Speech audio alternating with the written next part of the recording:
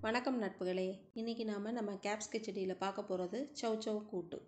சௌச்சௌ காயை வச்சு நாலு வகை கூட்டு பண்ணலாம் நாலு வகை பொரியல் பண்ணலாம். அதில் இது முதல் வகை இதை பொரிச்ச கூட்டுன்னு சொல்லுவா. இப்போ நாம் அதை எப்படி பண்ணுறதுன்னு பார்க்கலாம். ஒரு மிக்ஸி ஜார் எடுத்துட்டுருக்கேன். அதில் அரை கப் அளவு தேங்காய் திருவின தேங்காய் அதோட ரெண்டு நீல வரமிளகாய் எடுத்துட்டுருக்கேன். உண்டு மிளகாய் இருந்தாலும் போட்டுக்கலாம்.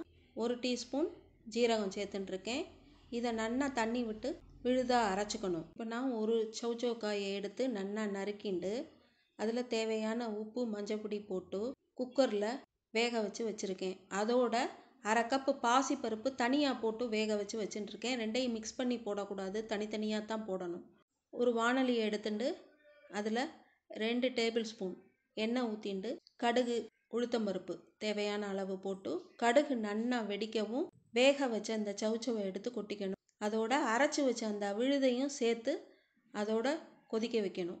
நன்னா ஒரு ஆவி வந்ததுக்கப்புறம் பாசிப்பருப்பை போட்டு மிக்ஸ் பண்ணி தேவையான அளவு தண்ணி ஊற்றி கொதிக்க விடணும் நன்னா தண்ணி வேணுங்கிறவங்க கூட்டு கொஞ்சம் தண்ணியாக இருக்கணும்னு நினைக்கிறவா தண்ணி கொஞ்சம் கூட விட்டுக்கலாம். பாசிப்பருப்பு போட்டு கொதிக்க விடுறதுனால கூட்டு எப்போவுமே கெட்டியாயிடும். எவ்வளோ தண்ணி இருந்தாலுமே நீர்க்க போகாது. நன்னா கொதித்ததும் ஒரு கா டேபிள் ஸ்பூன் பெருங்காயத்தூள் சேர்த்துக்கணும். இதோட அரிஞ்சு வச்ச பச்சை கருவேப்பிலை போட்டு இறக்கி வச்சிட வேண்டியதுதான். சுவையான சௌச்சௌ கூட்டு ரெடி ஆரோக்கியமே நல்வாழ்வு. நல்ல ஆரோக்கியமான சமையலாக சமைச்சு எல்லாருக்கும் போடுவோம். நலமாய் வாழ்வோம். நன்றி வணக்கம்.